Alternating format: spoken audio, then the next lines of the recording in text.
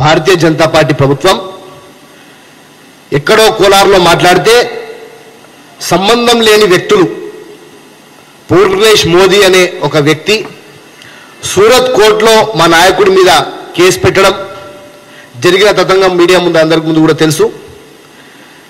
అప్పీల్కి వెళ్తే కనీసం అప్పీల్ని కూడా అడ్మిట్ చేయకుండా దాన్ని కూడా కొట్టేసిన పరిస్థితి. కోర్టు తీర్పు వచ్చిన వెంటనే బంగ్లా ఖాళీ చేపించిన పరిస్థితి. ఈరోజు ఇవన్నీ గమనిస్తుంటే వాస్తవానికి బీజేపీకి కాంగ్రెస్ పార్టీ ఎదుగుతున్న ఎదుగుదల రాహుల్ గాంధీ గారి చరిష్మా కన్యాకుమారి నుంచి కశ్మీర్ వరకు జరిగిన యాత్రలో ప్రజలు ఏ విధంగా అయితే బ్రహ్మరథం పట్టినరో వాటన్నిటిని చూసి నేడు రాహుల్ గాంధీ గారిని కేవలం తన ఇమేజ్ని డ్యామేజ్ చేయడానికి చేసే ప్రయత్నం అని చెప్పి మాత్రం చాలా స్పష్టంగా అర్థమవుతుంది. మరి గతంలో కూడా సుబ్రహ్మణ్యం స్వామి గారు ఒక కేసు పెడితే ఆ కేసుకి సంబంధించి కూడా ఈడీ నోటీస్ ఇచ్చిండ్రు. ఈడీ చుట్టూ తిప్పించుకున్నారు. సోనియా గాంధీ గారిని రాహుల్ గాంధీ గారిని. ఏమైందని అంటే కొండంత వేలుక పట్టినట్టు అక్కడ కూడా ఏం కాలే. వాస్తవానికి న్యాయ వ్యవస్థ మీద పూర్తి స్థాయిగా మాకు గౌరవం ఉంది. కానీ గుజరాత్ కోర్టు ఎందుకు మరి అంత స్పష్టంగా రాహుల్ గాంధీ గారి కేసు మీద ఎందుకు అంత స్పష్టంగా కనీసం అప్పీల్ని కూడా అడ్మిట్ చేసుకోవట్లేదు ఎందుకు కొట్టేసింది అనేది కూడా కాంగ్రెస్ పార్టీ నుంచి చాలా అనుమానాలు వ్యక్తమవుతున్నాయి. ఈరోజు మనం గమనించుకుంటే అరే నల్లధనాన్ని పట్టుకొస్తా నన్ను ప్రభుత్వంలోకి తీసుకొస్తా అని చెప్పిన వాడు రూపాయి నల్లధనం పట్టుకరాలే కానీ మహంగాయి పేరు మీద అచ్చేదిన్ పేరు మీద ఈరోజు సచ్చేదిన్ తెచ్చాడు. ఆ రోజు మేము ప్రభుత్వంలో ఉన్నప్పుడు ఇదే స్మృతి ఇరానీ గారు సిలిండర్ ఖాళీ సిలిండర్ అని తీసుకొని రోడ్ల మీద కూర్చున్న పరిస్థితి. ఈరోజు సిలిండర్ ధర పన్నెండు వందల రూపాయలు అయినా కూడా స్మృతి స్మృతి ఇరానీ గారు వాళ్ళ కూతురు గోవాలో బార్లు పబ్బులు పెట్టుకునే దానికి పర్మిషన్లు తెచ్చుకోనీకే ప్రభుత్వాలను పడేస్తారు. కానీ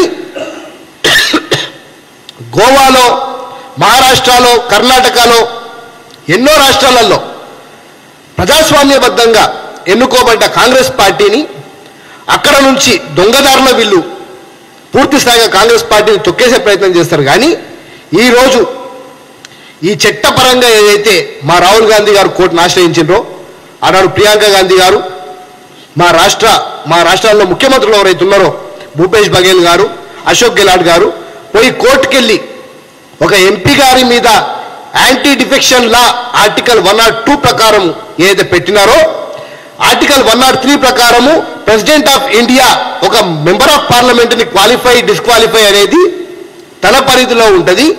అని మేము కోర్టుకు వివరించుకున్నా కూడా కోర్టు నిష్పక్షపాతంగా వివరించలేదనేది మాత్రం కాంగ్రెస్ పార్టీ నుంచి మేము పూర్తి స్థాయిగా ఆరోపిస్తున్నాం.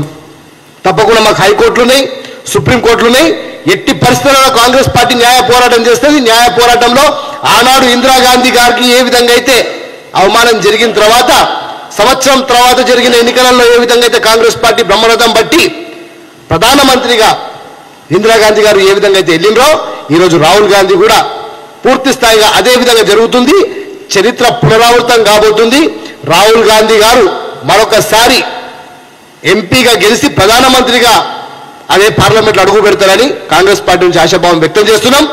ఈరోజు మరి మోదీ అనే ఒక సర్నేమ్ని పట్టుకొని బీసీలకు వ్యతిరేకం బీసీలకు క్షమాపణలు చెప్పాలని చెప్పి మాట్లాడే ఈ బీజేపీ నాయకులు ఎవరైతే ఉన్నారో వారికి చిత్తశుద్ధి ఉంటే ఈ బీసీలకు సంబంధించి ఏదైతే రాహుల్ గాంధీ గారు కోలార్లో మాట్లాడినారో ఎస్ జనగణన చేయాల్సిందే బీసీల సంఖ్య తెలవాల్సిందే బీసీలకు పూర్తి స్థాయి న్యాయం కావాలంటే వాళ్ళ జనాభా ఎంతనో తెలవాల్సిందే అని చెప్పి అయితే మాట్లాడినరో దాన్ని మీ ఎవరైతే ప్రధాని ఉన్నారో నేను బీసీ అని చెప్పుకునే ప్రధానమంత్రి ఉన్నారో ఆ ప్రధానమంత్రి గారికి బీజేపీ నాయకులందరూ కూడా మీకు చిత్తశుద్ధి ఉంటే బీసీల మీద ప్రేమ ఉంటే వెంటనే ఇప్పుడు ఇంకా సమయం ఉంది సంవత్సరం సమయం ఉంది పెట్టిపించండి బిల్లు. కాంగ్రెస్ పార్టీ పూర్తిగా మద్దతు పలుకుతుంది.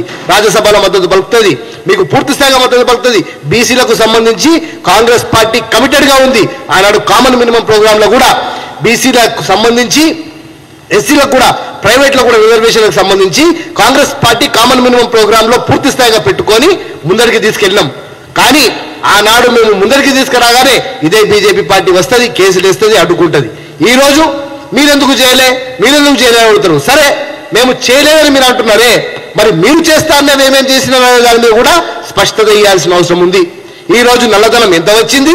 మన బ్యాంకులలో మా పేదలు ఎస్సీ ఎస్టీ బీసీ మైనారిటీలు అందరూ కలిసి దాచిపెట్టుకున్న డబ్బులను ఎవరికి మీరు దోషిపెట్టినారు? ఏ ఏ దేశాలలో వాళ్ళు ఈరోజు కురుకుతున్నారు మా డబ్బులు తీసుకొని పారిపోయిన వాళ్ళను ఎంతమందిని మీరు తీసుకొచ్చిండ్రు? ఈ ఇండియాకి అనేది మేము ఈరోజు ప్రశ్నించాలి తలుచుకున్నాం తప్పకుండా న్యాయ పోరాటం చేస్తాం. ఇదే విధంగా కంటిన్యూ అయితే మాత్రం తప్పకుండా ప్రజా పోరాటం తప్పదని చెప్పి ఈ సందర్భంగా తెలియజేస్తున్నాం. హాయ్ ఫ్రెండ్స్ మా టుడే టుమారో యూట్యూబ్ ఛానల్ చూస్తున్నందుకు చాలా థ్యాంక్స్ మరిన్ని లేటెస్ట్ వీడియోస్ కోసం వెంటనే సబ్స్క్రైబ్ చేయండి. అలాగే ఈ బెల్ని కూడా రింగ్ చేసేయండి. మా నోటిఫికేషన్స్ అన్ని మీ మొబైల్లో వస్తాయి. అలాగే మా వీడియోస్ మీకు నచ్చితే లైక్ చేయండి షేర్ చేయండి నచ్చకపోతే కామెంట్ చేయండి.